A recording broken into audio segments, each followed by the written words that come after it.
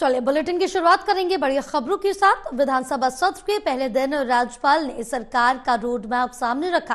राज्यपाल ने अपने अभिभाषण में एक बड़ी बात ये कही कि जिन युवाओं ने सीईटी पास कर लिया, पर उन्हें सरकारी नौकरी नहीं मिली, सरकार उन्हें दो साल तक नौ हज़ार रूपए महीना मानदेय देगी।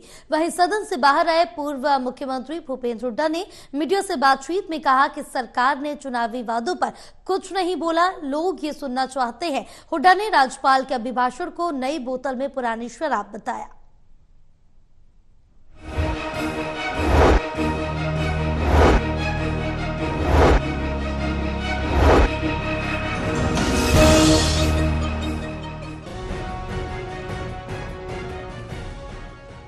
प्रदेश में तीसरी बार बीजेपी की सरकार बनने के बाद हरियाणा विधानसभा का सत्र बुधवार को शुरू हो गया।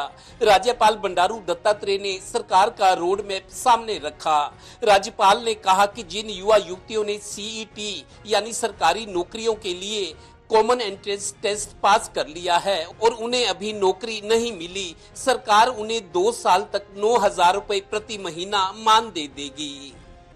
सीईटी e की परीक्षा पास करने वाले सभी युवा जिनको एक साल में नौकरी नहीं मिलेगी, उन्हें अगले दो वर्ष तक नौ हज़ार रुपये मासिक दिए जाएँगे।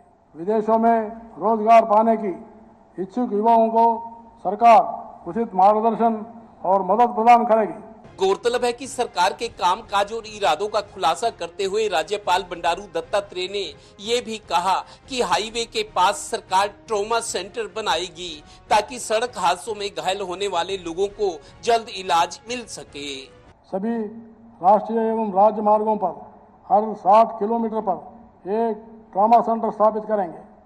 सौ बिस्तर वाली सिविल अस्पतालों को 200 बिस्तर तथा 200 बिस्तर वाली सिविल अस्पतालों को 300 बिस्तर वाले अस्पतालों में अपग्रेड किया जाएगा। उधर सत्र के पहले दिन पूर्व सीएम भूपेंद्र हुड्डा ने मीडिया से बातचीत में कहा कि सरकार ने चुनावी वायदों पर तो कुछ कहा ही नहीं। लोग ये सुनना चाहते हैं। विधानसभा अभी दो दिन और चलेगी 14 नवंबर को और तीन दिन की छुट्टी के बाद 18 नवंबर को। लगता है आगे चलकर सत्ता पक्ष और विपक्ष में ज़ोर आजमाइश होगी, क्योंकि अब तो दो दल ही सामने हैं, बीजेपी और कांग्रेस। एक के पास 48 विधायक मंत्री और मुख्यमंत्री हैं तो दूसरी ओर कांग्रेस के 37 विधायक। लोग अपना काम कर रहे हैं। Haryana bureau, total news. Peace.